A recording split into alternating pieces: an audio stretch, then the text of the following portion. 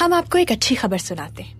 हमारे सुल्तान नाइमे की शादी भी जल्द करवाना चाहते। मुनासिब दामाद की तलाश। हमारा ख्याल है गाजी उस्मान पाशा के फर्जंद कमालुद्दीन पाशा मुनासिब इंतखाब होंगे नाइमे के लिए। मगर मगर क्या स्नेहा सुल्तान? इज्तिवाज वो रिश्ता है जो तकदीर में लिखा होता है। जिस तरह हमें दुनिया में लाने वाले हमारे वालदेन हमारी किस्मत में लिखे होते हैं उसी तरह शरीक हयात भी मुकद्दर में लिखा होता है। बिल्कुल ऐसा ही है।